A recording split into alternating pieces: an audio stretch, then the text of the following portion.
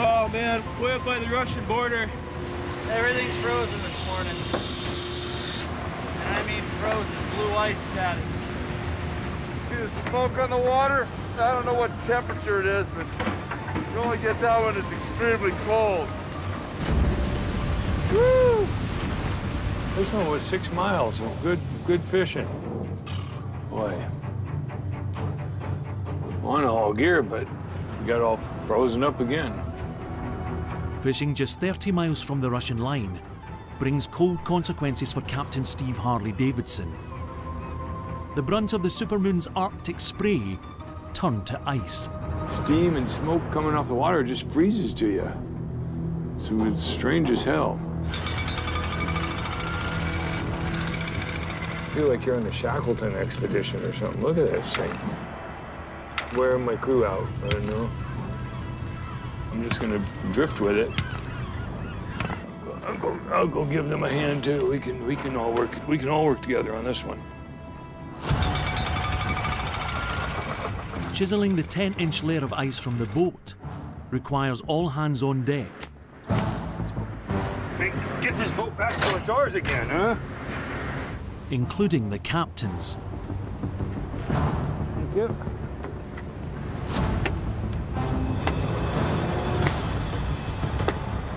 Does that quite a bit. He puts his little Norwegian outfit on and uh, his Norwegian snowsuit, and he jumps in. He wouldn't ask you to do something he wouldn't do himself, that's for sure.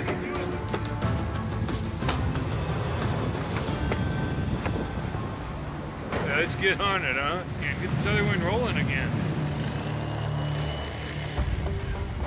When we get over, maybe we can grab this first one and see, huh? His load lightened. Best string of the season. Harley awaits for the rewards of his setback in a lucrative canyon he first fished 30 years ago. Finally found where we kind of got some hope and we get some rewards.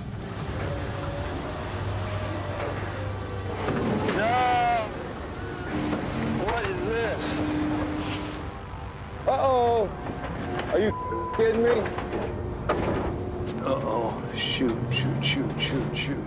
That's not what we're looking for. Not at all. Nothing's come out of it. Zero. Been getting some pretty wimpy, wimpy results.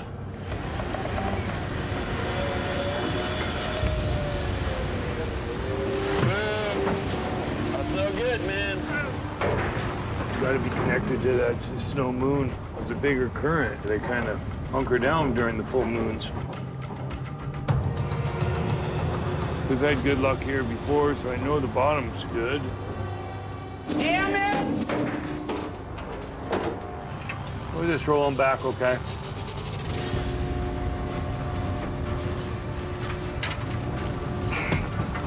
The skipper defies convention, setting back on low numbers. Gambling the crab will come out of hiding when the supermoon's strong currents subside.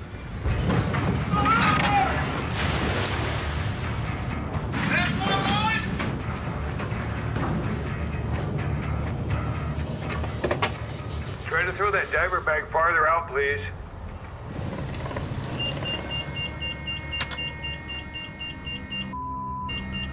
What the hell happened? Holy. We- We did get snagged and I got something in the wheel.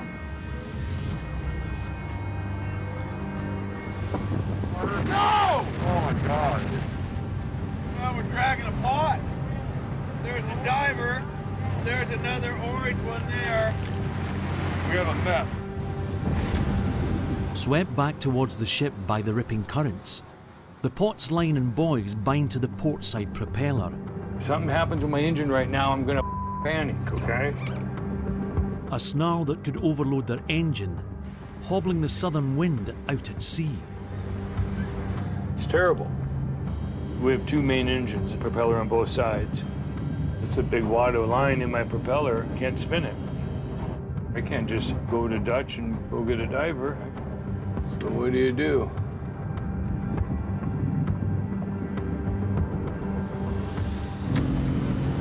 Want to see if we can hook it and pull it up tight? It's got a better chance of snapping if you do that. You know what I mean? Instead of getting it sucked up. Yeah, right. At least have it humming up tight so that when you drop it in gear, it'll chop, chop, chop. Right. Can bring the, the throwing hook back to the corner back here in the port? Roger.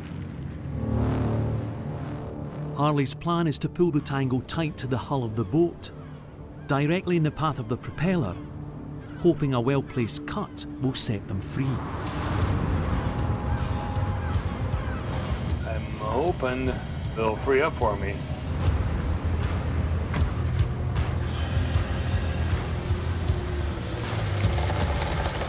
See what happens.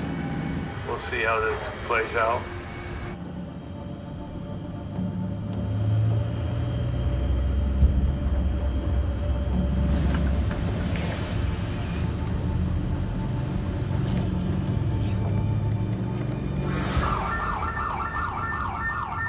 Very cool what these alarms are.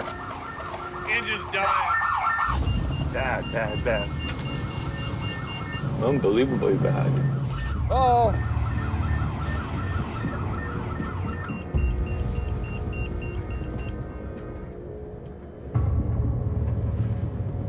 No, but it hasn't freed up yet.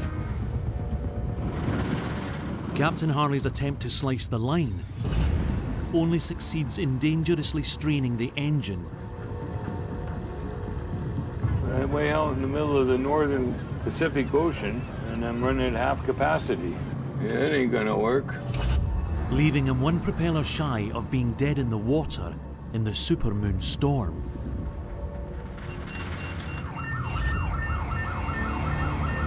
Engine's dying every time he tries to put it in gear because it's got line wrapped.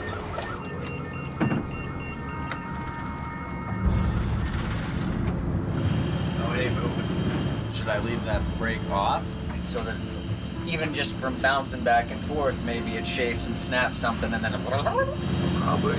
Yeah. Travel on the starboard for a while, see if uh, something gives. Thank you. Yes, Engineer Munsey Keenan resorts to Plan B.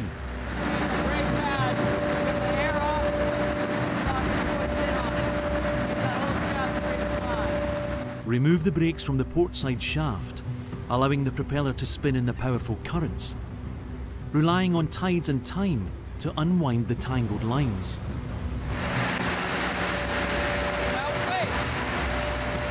But until the prop is unhampered, the Southern Wind's operation is at a standstill, stranded on the northern grounds. I'm gonna get this line out of my wheel, man.